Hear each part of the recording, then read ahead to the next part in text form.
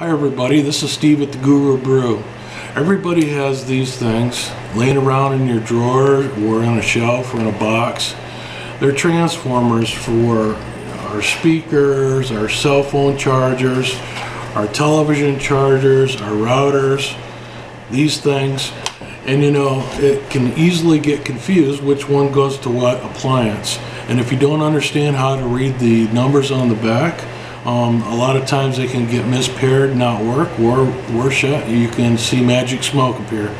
So in this edition, I'm going to teach you how to pair up the transformers with the appliance. Hang tight.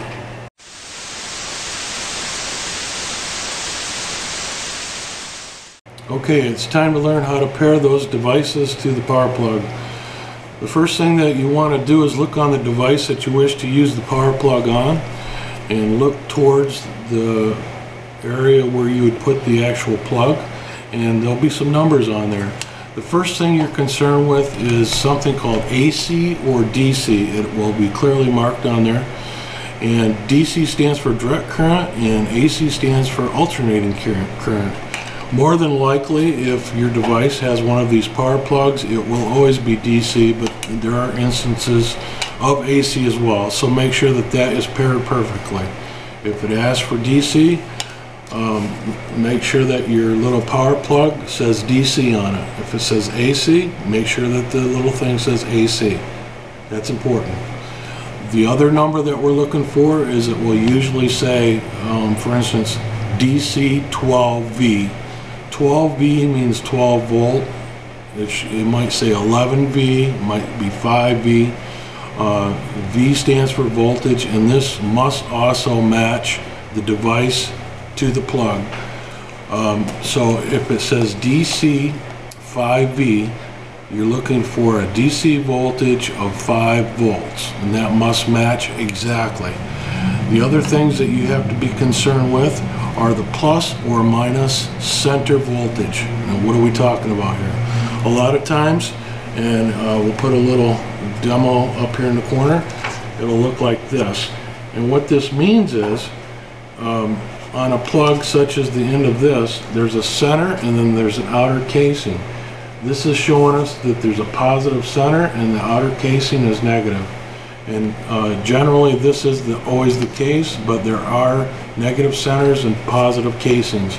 If this is wrong, you can blow up the device. So make sure that um, you get the tip either uh, plus or minus. Matches exactly.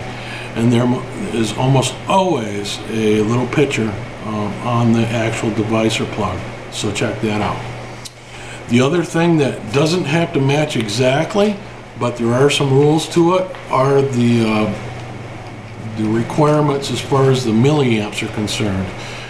Uh, when you look on the device, you'll see that it requires a certain amount of milliamps or draw from the device. And all of these are rated in milliamps or amps, and it's uh, it has an MH. For instance, this one says 300 MH. That means that this is will uh, is capable of producing up to 300 milliamps. Uh, generally, the bigger in size these are, the more they produce.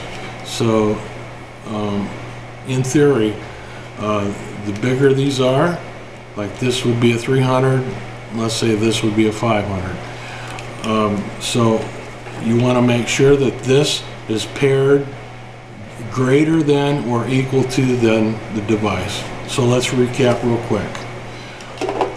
DC and AC must match. The milliamps must be equal to or greater than the device that you're using this on. Uh, the plus or minus must be center matched and the voltage must be the same. Hey, I hope this helped you out in determining which adapter is right for your device. So if you lose one, uh, you're able to match it back up. Uh, if you have any uh, more questions, just add them in the comment and we'll get to them. Thanks for watching. Have a good day. Hey guys, this is Steve. Thanks for watching. Hey, don't forget to subscribe if you like this video and be sure to rate and comment. See ya.